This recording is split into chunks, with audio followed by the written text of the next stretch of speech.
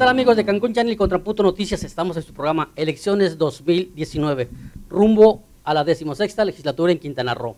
Estamos en nuestras instalaciones ubicadas aquí en la Supermanzana 26 en Cancún Channel y este día nos visita y tenemos el gusto de tener con nosotros a Carlos Conde. Carlos Conde es el candidato para diputado del Distrito 2 por el partido Movimiento Auténtico Social, un partido quintanarroense que por primera vez va a tener su prueba de juego el 2 de junio. Bienvenido, Carlos. Muchas gracias, Sergio, muchas gracias. ¿De dónde surge Carlos Conde? Pues Sergio, nosotros surgimos, Carlos Conde surge desde los años 90 aquí en Cancún, ya eh, aunque sabemos que venimos de otro estado, venimos de Veracruz, pero yo me considero ya cancunense por adopción porque pues eh, venimos como todos, venimos con la esperanza de una mejor calidad de vida, de tener eh, empleo principalmente y tener seguridad. Entonces de ahí venimos Posteriormente, pues estuvimos trabajando también en la zona hotelera, en lo que son, este, como todos venimos a trabajar primero a la parte bonita de Cancún y después eh, estoy trabajando todavía como taxista desde hace 26 años prácticamente y por eso conozco y vivo la realidad de nuestro Cancún. Hay una asociación civil que se llama Taxistas de Corazón, ¿no? Así es, también tenemos una asociación eh, que se llama Taxistas de Corazón, asociación civil, tenemos una cooperativa taxista también, entonces todo nuestro, nuestro trabajo ha sido enfocado principalmente a la gestión social, al apoyo al bien común y eso lo quieres trasladar al Congreso del Estado. Ahora sí, como hemos tenido muy buenos resultados, hemos tenido muy buena aceptación de la gente, es trasladar todo nuestro, trabajo ahora a representar a nuestro pueblo, a representar a nuestra gente. Llevan 12 días caminando por las calles de Cancún del Distrito 2. ¿Qué es lo principalmente que te piden? Sabemos que inseguridad es el, el primero, ¿no? Pero después de inseguridad, ¿qué te han pedido? Fíjate que siempre yo menciono a la gente de mi distrito como mis vecinos, soy de los pocos candidatos que viven donde está su distrito, yo vivo donde está la 103 a un lado. Entonces sí, el tema de inseguridad te lo van a mencionar todos los candidatos y a lo mejor lo agarran todos como bandera, pero nosotros eh, traemos no solo ese tema, traemos 8 o 10 temas que, que, son muy importantes. Aparte de la inseguridad, todo el mundo este, nos dice que los servicios públicos municipales son pésimos. Eh, vamos a Vía Sotoch, sobre la avenida principal hay montones de basura, Galaxia del Sol lo mismo. Eh, los servicios públicos municipales nos dicen aparte el alumbrado también, o sea, sabemos que ese no es nuestro trabajo como diputados, no somos presidentes municipales, pero sí este, nuestro trabajo principalmente va a ser darle respuesta a la gente, que cuando vayamos en los recorridos y la gente nos diga, oye Carlos, oye vecino, fíjate que tengo este problema, nosotros comunicarlo, retransmitirlo, y también tenemos eh, parte de nuestras atribuciones es a través del presupuesto de egresos, destinar más recursos, porque Cancún es una ciudad muy importante, es una ciudad muy bonita, turísticamente hablando, la zona hotelera, incluso la Riviera Maya, donde entra muchas divisas, pero nuestra ciudad y principalmente Cancún, las zonas irregulares y las zonas que están focalizadas con focos rojos, están totalmente olvidadas, abandonadas, y esos son parte principal de los problemas sociales que tenemos de índices delictivos. ¿Qué zonas abarca el Distrito 2? Tenemos aproximadamente 27 zonas, hablando primero de donde, donde, este, donde te mencioné de la 103 hacia el fondo, tengo la región, eh, lo que es eh, la Hacienda Real del Caribe, Arrecifes, Calakmul, este, Prado Norte, Ciudad Natura, como son, este, aparte también las zonas irregulares como es Cunamaya, eh, Gregorio Sánchez, El Venado, Yaxché, son, tenemos aproximadamente 27 entre, entre colonias irregulares y regiones, ahora llamadas supermanzanas. Y, seguramente en las zonas irregulares te van a pedir o ya te pidieron regularizarlos. Ese es un clamor de todos los años y cada vez que hay elecciones. Sí, fíjate que hay gente que me dice, tengo aquí viviendo 18 años, tengo viviendo 20 años, ya vi pasar tres gobiernos, ya vi pasar seis presidentes municipales y cada vez que viene un candidato, incluso los mismos que vienen como candidatos a diputados, vienen y nos dicen lo mismo, este, te prometo, te prometo y te prometo y ahorita no nos han cumplido, por eso ya casi no creemos en la gente. Entonces yo les hago mención, le digo, mire, eh, nosotros tenemos una diferencia con los demás candidatos. De entrada no hemos sido políticos realmente, somos realmente vecinos de este, de este distrito y hemos pasado también y hemos vivido en regiones que eran ejido, que eran zonas regulares como las 200, como las 500 y hemos visto cómo se hace el trabajo, cómo se tiene que hacer. Eh, el ejido es propiedad de la nación, lo dice el artículo 27 constitucional, y como propiedad de la nación la única forma de regularlo se hace a través del registro agrario nacional entonces, de esa manera se convierte el ejido a propiedad privada y ahora sí se puede trabajar con el plan de desarrollo urbano para su regularización y proveerle de servicios públicos municipales. Entonces, es una asignatura pendiente que no debemos olvidar ya para esta próxima legislatura, que no debe ser trabajo solamente del ayuntamiento o del gobierno del Estado, debe de integrarse de lleno el gobierno federal. Sabemos que el presidente actual, el presidente de la República, es muy sensible a esos temas y, los cancunenses no nos merecemos seguir viviendo en esa situación, en zonas irregulares o en zonas inseguras. ¿Ha faltado voluntad política para subsanar ese problema que afecta a la periferia de la ciudad? Son más de 100 mil personas que viven en esos lugares y olvidados lamentablemente. El tema Uber. Hay un candidato por allá que dice que va a apoyar con todo el ingreso de Uber.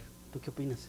Sí, fíjate que el tema no solo de Uber, de cualquier plataforma digital, porque incluso en el sindicato tenemos dos plataformas digitales funcionando perfectamente. Tenemos la plataforma digital que se llama My Taxi Go, tenemos la plataforma de Taxi Naranja también, tenemos otra que se llama Coach Driver. Entonces el tema de Uber no es un tema de que no queremos plataformas digitales o no queremos empresas extranjeras, porque aquí en Cancún tenemos todas las que se te puedan imaginar, todas las franquicias. Hablábamos de hoteles españoles. Eh, hoteles españoles, tenemos Starbucks, tenemos McDonald's, tenemos todas, pero todos y cada uno de ellos respetan la ley, todos operan de manera legal y el tema de Uber es eso, es un tema de legalidad que tienen que ajustarse a la ley de transporte, la que teníamos anteriormente y la que tenemos ahora, como la nueva ley de movilidad, es un tema de legalidad, solamente que, respeten la ley, que cumplan como cumplen todos los demás, que den su servicio con concesiones como en cualquier otro, otro ciudad de, Quintana Roo. Una campaña muy austera, Carlos. Así es, eh, de hecho, estas campañas para todos, para todos los candidatos de todos los partidos deben de ser austeras. Vemos por ahí que algunos candidatos no están respetando, pero ya, ya serán las autoridades que, que lo deben de decidir porque están poniendo súper espectaculares que cuestan mucho dinero. Entonces, no, nosotros caminamos, es caminar, caminar, caminar, de mañana, de tarde y de noche. Incluso por ahí también algunos reporteros que nos han entrevistado en los tianguis de, de Otoy Paraíso a las 8 de la noche nos dicen, ustedes son los únicos que caminan de noche, y más en este distrito que es muy conflictivo. Y nosotros le decimos, pues lo caminamos porque lo hemos caminado durante 26, 27 años que llevamos trabajando acá, los conocemos, conocemos a los vecinos, entonces, porque aparte como andamos realmente austeros, entonces pues no tenemos relojes que nos quiten, no tenemos cadenas que nos quiten, no, no llevamos dinero en la cartera, andamos caminando como ellos, como los vecinos, la gente se identifica con nosotros, la gente nos, nos arropa y nos protege también. Entonces quiere decir que no hay temor por para andar por las calles. Ningún temor, este, porque como dicen, el que da nada debe, nada teme. Sí nos ha tocado ver casos de víctima de daño colateral, una balacera y te toca un balazo, incluso a una compañera de nosotros del Distrito 6, a Cristina Ávila, que creo que estuvo en tu programa, tuvo un problema similar, que iba caminando, vio una balacera y se refugió. A eso nos exponemos todos los días aquí en Cancún. Entonces debemos de trabajar nosotros, principalmente como diputados en la próxima legislatura, en ser eh, coayudantes para la solución de ese problema porque hoy, escuchamos un pronunciamiento de, que a nivel nacional la Guardia, la Guardia Nacional ya entra y em, empieza a operar en Cancún aproximadamente por ahí de junio, julio, pero veníamos escuchando que ya eh, incluso hay una ciudad militar aquí en Cancún y están inoperantes porque había eh, falta de reglamento, había falta de una ley que, que pueda darles ya ahora sí la facultad de operar, ya van a empezar. Pero en lo que ya van a empezar, pues ya llevamos muchos, muchos homicidios, hay muchos casos de extorsión. Entonces, ¿qué debemos hacer nosotros? Analizamos el semáforo delictivo, vemos cuáles son los delitos que van al, al alza y cuáles son los que van a la baja. Te pongo un ejemplo, el, el delito de secuestro va muy a la baja, pero ¿por qué? Porque se legisló para que el secuestro fuera cadena perpetua a los secuestradores. Entonces vamos a meterle más también en el Código Penal como legisladores. Es la invitación que yo le voy a hacer a mis compañeros en la próxima legislatura, es reformar el Código Penal. Tenemos un Código Penal que ya tiene leyes desde 2010, 2012, 2014, algunas del 2016, pero de dos, tres años para acá ha subido los delitos graves, graves. Entonces tenemos que también ser un, tener un código penal fuerte, un código penal que inhiba el delito, que los secuestradores, los extorsionadores digan, pues aquí en Quintana Roo la ley es muy dura, pues vámonos a otro lugar. Y así ha pasado, porque pues muchos, sabemos que mucha de la gente que viene a delinquir viene de fuera, no es la gente que está arraigada y que viene y ama Cancún y trabaja por Cancún.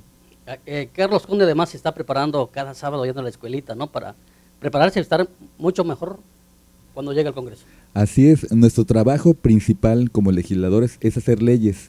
Entonces, para hacer leyes, pues tenemos que prepararnos, tenemos que estudiar de manera permanente, de manera constante. Tiene razón, si yo voy todos los sábados, sigo estudiando de manera permanente. ¿Por qué? Porque lo vamos a necesitar para, para trabajar en el Congreso, porque no queremos que nos pase como pasa en la Cámara de Diputados Federal, que tenemos por allá algunos legisladores que pues son e, eran actores de televisión o algunos son cantantes o, deportistas que son gobernadores de algunos estados y que solo llegan a levantar la mano y que hacen de la política un circo. ¿Por qué? Porque realmente desconocen lo que están analizando, lo que están votando y solo siguen los lineamientos del partido. y en ese sentido, pues nosotros no tenemos un partido a nivel nacional que nos diga, oye, este, Carlos Conde, cuando ves a la entrevista no hables de esto, no digas esto, porque incluso también nos damos cuenta que aquí eh, tenemos un partido en el poder, aquí en el, en el ayuntamiento, en el, en el municipio, y los candidatos de ese partido pues no tocan temas este, centrales, torales, como son los servicios públicos municipales o la inseguridad, porque dicen, a lo mejor me regañan si digo algo malo sobre eso. Nosotros no, este, la libertad de expresión garantizada en la Constitución también es libertad de expresión que nos da el partido, nos da nuestro movimiento, movimiento auténtico social, y nos la da para poder decir libremente lo que pensamos. El próximo 2 de junio va a ir la gente a votar por, por ti o por tus otros contendientes. Por cierto, ¿los conoces? Conocemos a todos y cada uno de ellos, analizamos sus perfiles, hemos visto cómo suben y bajan algunos, porque sí ya me cambiaron a una que estaba en el 2, la mandaron al 3, del 3 me mandaron al 2. Este, incluso el día anoche todavía surge la noticia también de también uno de nuestros eh, adversarios, el, nombre de Chacho Salvidea, que estaba inhabilitado, entonces sí ya se había hecho a través de, de otro partido una impugnación y ayer resolvió, resolvió el TECRO en bajar su candidatura porque sí es inelegible para la, para la candidatura. Y así como él conocemos a todos los demás, vemos quienes están por el, en, ese caso no tenemos un candidato que vaya directamente por Morena, tenemos por el PT, que este, tenemos un candidato del PT, incluso eh, tenemos uno del PRI, tenemos que es este Amaro, tenemos eh, del PAN PRD que es este Mauria Bendaño y tenemos también por allá de confianza a Rolando Alvarado. Entonces conocemos a todos y cada uno de ellos, sabemos cuáles son sus este, habilidades, sus debilidades también, es parte de la estrategia política, eh, nos hemos dirigido hacia ellos con respeto, este, igual eh, hasta el momento ellos se han dirigido a nosotros con respeto, algunos de ellos incluso, este, por ahí tengo ahí a un amigo que está en, en, otro, en otro partido. La política no debe dividir a los ciudadanos. Por supuesto. Eh, incluso siempre lo hemos comentado, yo lo he puesto mi, hasta en mi portada de, de mi face, eh, muchas veces la política nos divide, la religión nos divide, el fútbol nos divide y al contrario, ahorita gane quien gane, tenemos que respetar los resultados y trabajar, trabajar de la mano de ellos para mejorar nuestro Cancún, que ese es el objetivo principal que debemos de tener como representantes populares. El próximo 2 de junio, Carlos Conde, ¿por qué la gente debiera votar por ti? Parte de lo que te he mencionado, esa es, esa es mi carta que yo represento, y que tengan también la convicción, la convicción los ciudadanos de eso, de que yo voy a seguir preparándome, voy a seguir estudiando y voy a seguir trabajando en lo mismo que he hecho todo el, todo el tiempo, en buscar el beneficio colectivo, en recuperar lo que teníamos en Cancún hace 30 años. Y te digo la verdad, yo viví en la Tumencuchtal, no sé si la conoces por ahí, la región 91.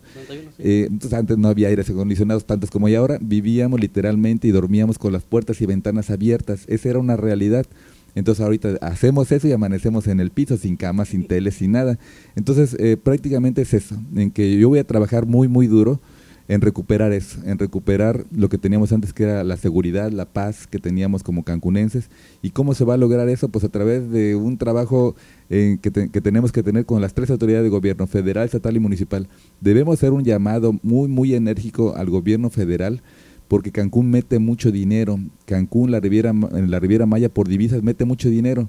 Entonces la federación también tiene que voltear a vernos y también tiene que darnos eso, tiene que darnos más armas para poder este, nosotros trabajar y, a armas me refiero a que tiene que darnos más seguridad a través de que haya más, más recursos, que haya más patrulla, más cámara de vigilancia, que también haya más capacitación para los policías, que a los policías se les dé un mejor sueldo también, porque muchas veces sé que no es pretexto, pero dicen, es que también nosotros le entramos también a la corrupción porque no nos pagan bien. Bueno, se le den buenas prestaciones, que no tengan pretexto, porque sí, yo veo muchos estados, te pongo un ejemplo, Nuevo León, que los policías viven muy bien, que todas las patrullas también traen ahí una camarita interna y una externa para evitar que agarren al delincuente y lo bajen a la vuelta de la esquina, son parte de las estrategias. Otra también, obligar a las constructoras, un tema que hemos mencionado mucho. Las casitas ahora miden 6 metros por 10 o 12 metros y ahí viven hasta 6 u 8 personas. No debe de ser, tenemos que también trabajar con las inmobiliarias en obligarlos a que tengamos terrenos de 10 por 20 como era antes. ¿Por qué? Porque de esa manera la gente puede vivir más tranquila. Una, obligarlos a que tengan espacios, espacios dignos en áreas verdes, campos, que tengan domos también, que, que estén iluminados, que haya una caseta de seguridad sí se puede. Cancún, el Estado eh, tiene un presupuesto de 28 mil millones de pesos, el ayuntamiento aproximado unos 5 mil millones de pesos, pero si aún así dicen que no son recursos suficientes, pues tenemos la, la federación que le jalen un poquito a los hoteleros, que le jalen un poquito a los que se están llevando el dinero este, a, sus países y que también le meta más a Cancún, porque los ciudadanos lo necesitamos y nos los merecemos porque somos realmente quienes da el motor al trabajo que se hace diario. Excelente. Gracias, Carlos. Muchas gracias, Sergio, a ti. Amigos de Cancún Channel y Contrapunto Noticias, Carlos Conde, candidato del Distrito 2 por el Partido Movimiento Auténtico Social. Nosotros nos vemos en el próximo programa, Elecciones 2019.